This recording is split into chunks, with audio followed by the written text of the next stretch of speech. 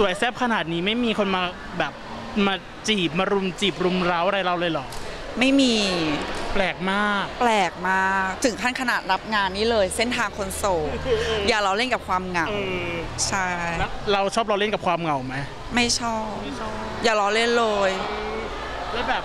ไม่มีคนมาจีบจริง ๆ เลยเหรอพี่โย ไม่มีจริง ๆ ค่ะ ก็ถึงได้รับงานไงบางคนเขาไม่เชื่อว่าเราโสดบางทีเราแอปหรือเปล่าเออก็รับงานไปเลยว่าเส้นทางคนโสด แต่ว่าเราทั้งสวยมีมง แล้วก็ล่าสุดเป็นคุณหมอแล้วนะ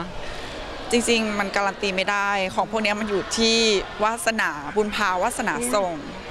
บางคนเขามีดวงเรื่องเนี้ยเขาก็จะมีเรื่อยๆ แต่ถ้าเราไม่มีเราก็ตุบเราไม่มีดวงจริงเหรอพี่โยอาจจะไม่มี หรือว่าอาจจะเป็นเพราะเลือกกรุ๊ปบีเฮ้ยหรือว่า เบอร์โทร เราเราเราเราอันนั้นได้เหรอมุกสุดๆเฮ้ย เราช้อนให้ค่ะ ก็คือเราโปรโมทเพลงให้เพื่อนสุดฤทธิ์เลยเหรอใช่ค่ะ ฟังบ่อยมากเพราะมันตรงกับชีวิตเรา หนูไม่อยากเชื่อเลยอะอะอีกอย่างหนึ่งคือค่ะ สเปคอะสเปคถ้าสมมติว่าเออ คนโสดอย่างเงี้ยสเปคต้องสูงหรือเปล่า วุฒแต่ก่อนก็เยอะเหมือนกัน อยากได้อย่างงู้นอย่างนี้ แต่มันก็ต้องตัดช้อยออกไปบ้าง ตอนนี้เหลือ เหลือแค่คุยกับเรารู้เรื่องเฮ้ยเขาเป็นคนไม่คุยไม่รู้เรื่องหรอ ก็มันเราเป็นคนเข้าใจยากนะ บางทีโยเป็นคนที่ถ้ามองว่าเห็นแก่ตัวก็เห็นแก่ตัวไปเลย อย่างเช่น บางทีเราเหนื่อย เราก็อยากจะอยู่คนเดียว เหมือนแบบตัดขาดจากเพื่อนตัดขาดจากผู้คนอะไรอย่างเงี้ย คนเขาก็จะงงๆว่า หรือว่าเขาไม่อยากคุยกับเราหรือเปล่าเพราะอยู่ๆเราก็หายไปอะไรอย่างเงี้ยค่ะ เออมันก็จะให้คนเข้าใจเราตรงนี้ด้วย แล้วแล้วมันยากนะเพราะบางคนเขาก็จะงงว่าอีนี่เป็นอะไรอยู่ๆก็หายไปเลยอะไรอย่างเงี้ยค่ะ แต่ว่าเราเราเลือกเยอะไหมเลือกเยอะไหม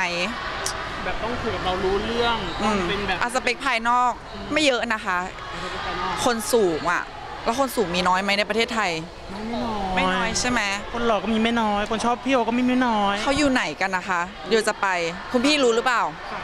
คุณพี่รู้หรือเปล่า รู้ถามคุณพี่ว่าต้องไปไหน หรือว่าต้องไปนี่คะเส้นทางคนโสดเออเอออาจจะมีแฟเข้างานนตลอด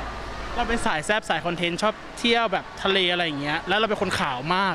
เราแบบกลัวไหมเรื่องผิว คือไม่กลัวแต่ก่อนรู้สึกว่าจะใส่กว่านี้ แต่เนี้ยก็คือชอบทำคอนเทนต์แล้วก็เหมือนลุยใช้ชีวิตนะคะหลังจากที่โควิดไป 2 ปี2อสปี ก็รู้สึกว่าอยากจะใช้ชีวิตให้เต็มที่เพราะว่าช่วงที่โควิดอะมันก็เป็นช่วงที่เราวัยรุ่นเราแบบ ความสะพรังความอะไรเงี้ยมาอยู่ช่วง 20 ถึง 23 24 เปิดมา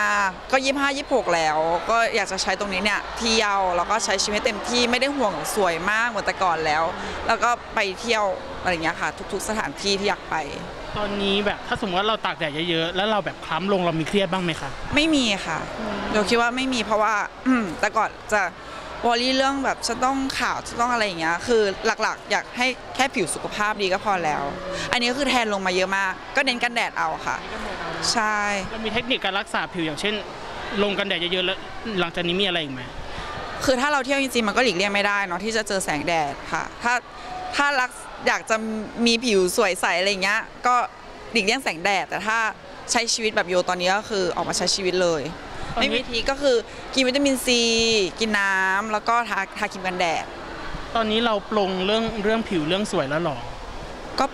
ก็ปลงนะคะ คือแต่ก่อนมันเหนื่อยอะเวลาเราอยู่มัธยมเราจะกินยา กินวิตามิน 10 10 เม็ดอย่างเงี้ยใช่ หรือว่ามาร์กหน้าบางที 10 10 แผ่น แบบอาทิตย์หนึ่งต้องมาร์กทุกวัน แต่เดี๋ยวนี้ก็คือปลงค่ะ ขอแค่ สุขภาพดีใช้ชีวิตก็พอ อะไรคือจุดที่ทำให้เรารู้สึกว่า อุ้ยเราเราเราปลงละอะไรอย่างเงี้ยอาจจะโตขึ้นด้วยค่ะ ใช่เพราะว่าตอนเด็กๆเราก็จะแบบฉันต้องสวยฉันต้องอะไรอย่างนี้ แต่พอโตขึ้นมาก็ฉันอยากใช้ชีวิตที่ฉันอยากจะใช้ เพราะว่ามันดูแลตัวเองมา 3 ปีแล้วอะอยู่แต่บ้านไม่ได้เป็นไหนกินแต่วิตามินวิตามินซี แต่พอเราได้ ได้ออกมาเที่ยวอะค่ะก็รู้สึกอยากจะใช้ชีวิตให้แบบเต็มที่ในที่เราอยากจะใช้เพราะว่าเวลามันผ่านไปเร็วมากใช่ไหมคะแป๊บๆเนี่ยก็จะ 20 ปลายปลายๆหลับตาอีกทีนึงก็ 30ทำไงอะหน้ายังเหมือน 18 สตาร์ไบอ๋อขอบคุณค่ะเฮ้อันนี้เราก็ต้องต้องช่วยช่วยกันฉี่เนาะฉี่ฉี่ดันดันอะไรอะแล้วเป้าหมายล่ะเป้าหมายในช่วงชีวิตนี้ของเรา อย่างที่บอกไปค่ะ น่าจะใช้ชีวิต เพราะว่าพูดกับผู้จัดการตลอดว่าไม่ได้เราต้องออกไปใช้ชีวิต เพราะว่าเวลามันผ่านไปไวมากๆ รู้สึกเสียดายเวลาที่ผ่านมาที่ไม่ได้ไปไหนเลยอืมแล้วก็อย่างอย่างเรื่องงานเรื่องอะไรอย่างเงี้ยเรายังลุยเต็มที่อยู่เนาะเต็มที่ค่ะ คือโยอยากจะทำงานให้หนักแล้วก็เที่ยวให้หนักด้วย เหมือนช่วงนี้ก็คืออาจจะไม่ได้วอรี่ว่าจะต้องเก็บเงินเท่านี้เท่านี้แค่มีเงิน ใช้ชีวิตมีเงินเที่ยวอะไรอย่างนี้มากกว่า ชอบทำคอนเทนต์ชอบไปสถานที่สวยๆ แล้วก็ถ่าย content ลงในโซเชียลแล้วเราต้อง fix ไหมว่าเราต้องไปเที่ยวแค่ในประเทศเท่านั้น ไม่ fix ต่างประเทศก็ชอบไปเหมือนกัน เร็วๆนี้จะมี content อะไรให้ติดตามบ้างค่ะยังคิดไม่ออกเลยค่ะ แต่ว่าก็จะมีให้ติดตามแน่นอน ใช่บางทีคอน content เราไปเที่ยวอย่างเงี้ยมันจะแวบเข้ามาในหัวเอง เช่นเราไปที่ทะเล หรือว่าเราไปที่ภูเขาเนี่ย เราก็จะเหมือนแวบเข้ามาว่าจะต้องถ่ายกับเพลงนี้ต้องเดินแบบนี้หรือว่า transition แบบนี้ มันน้อยคนมากนะคะ ที่จะครีเอทีฟแล้วก็แวบเข้ามาในหัว พี่โยมีเทคนิคอะไรไหมโยคิดว่าดูเราไม่ได้แบบคิด content เองค่ะ เราจะดู เวลาเราดูอะไรมากๆ มันก็จะขึ้นมาหน้า feed ถูกปะคะ เราดูสถานที่ท่องเที่ยวเราก็จะดูต่างชาติเขาเที่ยวยังไง บางที อุ๊ย อันเนี้ยดีมากทำตามดีกว่า หรือว่าอันนี้ดีมาอาจจะเป็นของเราอะไรอย่างเงี้ย ก็พอดูไปเรื่อยๆ มันก็จะแบบแบบเข้ามาในหัวเอง อุ๊ย เราเคยเห็นคนอะทำ content แบบนี้ แต่เพลงเนี้ยเราชอบมาก เราเอามา mix กับเพลงนี้ดีกว่า เป็นแบบนี้ เราเป็นตัวแม่ตัวมามตัวทำคลอดแล้วเป็นยังไงบ้างพี่โยชิก็ถือว่าเป็นลูกสาวคนโปรดนะคะ ของพี่ๆหมอที่ react ก็รู้สึกดีใจค่ะ ตอนที่เขา react เราคาดหวังไหมว่า จะจะต้องเป็นแบบเนี้ยประมาณไหนคะประมาณแบบอุ๊ยการแสดงเราก็ทุ่มเทมากอะไรอย่างเงี้ยกับผลลัพธ์ที่ได้มันโอเคไหมจริงๆแล้วโยคิดว่าทุก ๆ ฝ่ายก็ทำหน้าที่ออกมาดีที่สุดค่ะ แล้วก็ดีใจที่มีพี่ๆมา react เหมือนให้ความรู้เกี่ยวกับคนที่จะมาเรียนสายหมออะไรอย่างเงี้ย แล้วก็รู้สึกว่ามีคนรู้จักเราเยอะขึ้น เวลาเราไปเที่ยวอะไรเงี้ยค่ะ ก็จะเจอน้องๆที่เรียนแพทย์เหมือนกันที่ดู react เนี่ยเขาก็จะมาขอเราถ่ายรูป แล้วก็เรียกเราหมอเกตใช่ค่ะ แล้วทีเนี้ยหลังจากที่เขา react เราแบบเป็นลูกสาวลูกรักเลยอะเรารู้สึกยังไงบ้าง ก็รู้สึกดีใจแล้วแล้วคือเราก็ลุ้นทุกครั้งที่พี่เขาจะแบบพูดว่าเอ้ยฉากเนี้ยพี่เขาจะ react ต่อเรายังไง แล้วซึ่งเราเนี่ยก็ด้วยความที่เป็นแบบคนที่ชอบดูโซเชียลอะไรอย่างเงี้ยค่ะก็ติดตามพี่เขาทุก EP หลังจากที่ซีรีส์จบเนี่ยก็ move มาดู react โดยตรง ก็ลุ้นว่าฉากที่เรามา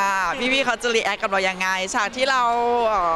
บางทีเป็นเป็นเอ่อในตัวละครนะคะจะมีคำพูดที่ สวยหรูตลอด เป็นเป็นคำพูดที่แบบเข้าใจยาก มีบทกลอนกวีอะไรเงี้ยพี่เขาก็ react ว่าโยชิเธอแบบ